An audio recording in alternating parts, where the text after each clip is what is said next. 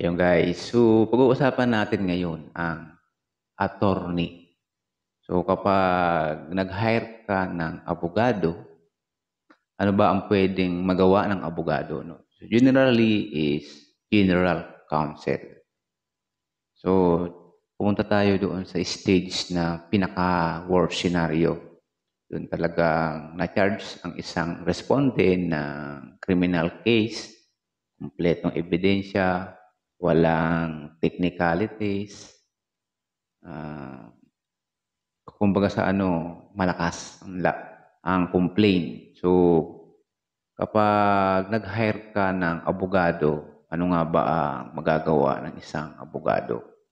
Eh, kailangan ba ba talaga mag-hire ng abogado? No, kahit eh, sabihin natin, baon ka. So, lalo kang mababaon. So, yun po ang kailangan natin dito. No? Kasi we're talking about savings and money. So, ang inyo pong lingkod, kung first time ka sa aking channel, no? ako nga pala ang inyong lingkod. Kung hindi mo pa ako kilala, ang iyong online criminologist, police ako. Okay? So, itakil lang natin yung abogado kasi it's, it's talking about money, no? So, kapag nag-hire kayong abogado, ay you expend unlimited. So, unpro, unforecasting, ano, uh, unforecasting release cash out. Kaya nga, hindi natin alam kung magkano ang ka-cash out mo dito kapag ikaw ay nag-hired sa abogado. Yung abogado po, ang mga lawyers natin is wala po yan nakapix na amount talaga. No? May kanya-kanya akong presyo yan. Merong, depende sa quality nila or depende sa services na ino-offer. Kung gusto mo lang naman. At uh, yun nga, so para makatulong tong channel na to, para mabigyan ko kayo ng ideas kung ano ba talaga ang pwedeng gawin ng isang abogado kung ikaw ay mag-hire. Lalong-lalo na pagdating doon sa senaryo na talagang malakas yung complaint. Kompleto barrikados. Walang technicalities, So, ano ba ang pwedeng ibigay na serbisyo sa inyo ng isang lawyer? So, take note po ah, hindi po ako isang abogado, ako po ay isang criminologist. Kung may mga mali man dito sa mga attorneys, no? Comments kayo dyan at i-correct nyo. Hindi po tayo perfecto. Okay? So, binibigyan lang natin ng uh, ideas yung mga kababat, kababayan natin na hindi kayang mag-abil ng abogado or kaya meron mang pang-abil ng abogado pero tinatawag na last money na nila to. Pero isusugal pa nila kung, dahil sa akala nila ay pwede nilang maipanalo or pwedeng maisalba ang isa nilang sabi na natin, mahalagang tao sa buhay nila. Okay? So, mer- mayroon akong kakilala, no? Mismong na-assist natin, no? Nag-hire na siya ng abogado, pero wala naman nangyari sa kaso.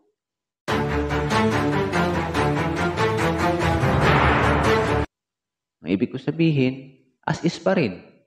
Hindi, hindi nakalabas yung uh, respondent, as is nakakulong, pero nagbayad siya ng isang malaking halaga.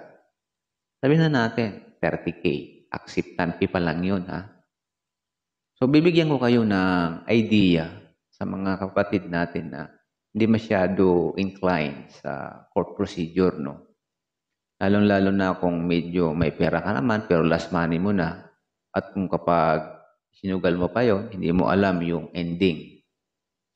So, ito guys. So, bilang isang civilian, no? Uh, kung talagang alanganin ang financial status nyo, nang dahil lang sa emotion, so, ang pinakamagandang gawin dito ay iwasan yung maglabas ng pera, lalong-lalo na kung walang kasiguraduhan ang kahihinatnan ang ibig ko sabihin, gumawa muna kayo ng ibang paraan kung may iba naman kung gusto nyong makatulong sa respondent. Ah, Kasi ang isang abogado, automatic yan. Kapag lumapit yan, so kape-kape, uh, pagkatapos niya, discussion, bibigyan lang kayo ng, gaguide kayo niyang criminal and court procedure.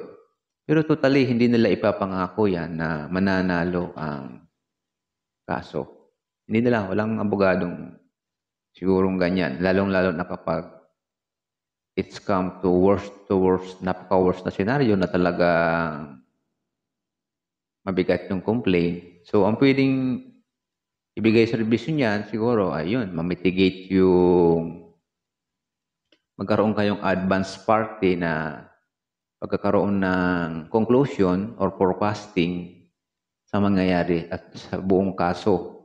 At possible din na turuan kayo na magkaroon ng mitigating circumstances para makamino sa sintensya.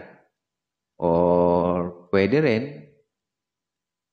which is na pwede namang gawin ng ano yun, ng libre. Pwede namang gawin ng PAW kung makakaabil kayo ng PAW. So sa mga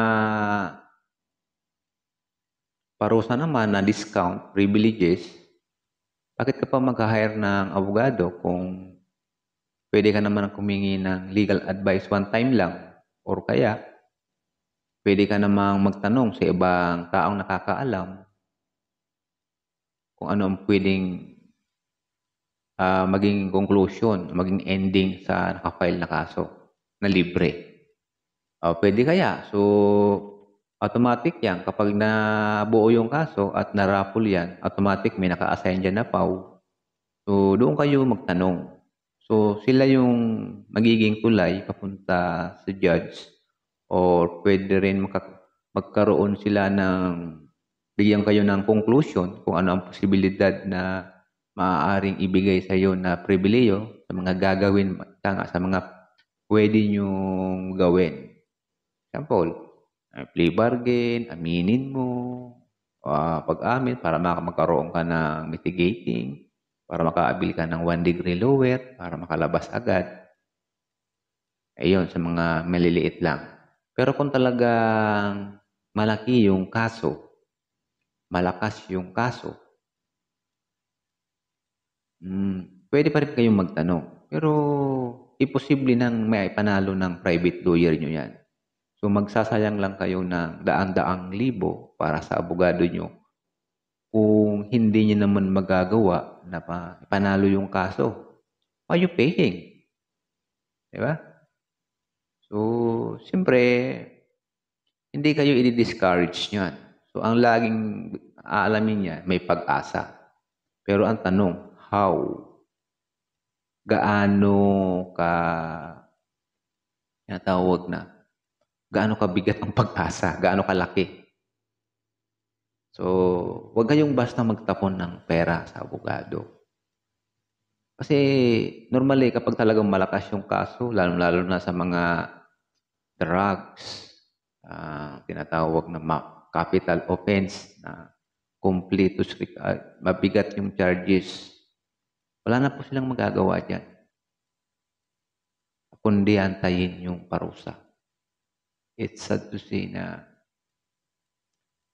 uh, nakakalungkot na portion ng kaso yung capital offense na kahit sinong abogado ay hindi na nila pwedeng may panalo. So you wasting money. Kahit meron kang 10 milyon dyan, kung talagang mabigat yung kaso, at uh, hindi nila yung magagawang ipanalo. Maniwala kayo sa akin mahir mahirap yung imposible. Okay? So, yan na po, medyo masyadong mahaba na yung ibang video natin. No? Kung mayroon po kayong additional na katanungan regarding sa function ng lawyer or sa kaso, no? So, huwag po kayong magdalawang isip mag-PM sa ating messenger police ko. At don't forget to support monetary ang ating channel, no? Mayroon po tayong membership dyan na 129 pesos ang charge through GCash. Kung gusto nyo lang naman, at kung ayaw nyo naman, so wala naman pilitan yan. Versus nyo na magkakaroon kayo ng mag ng abogado, That's it. Choice nyo yan. So, maraming salamat. Thank you for watching. See you again. My next video.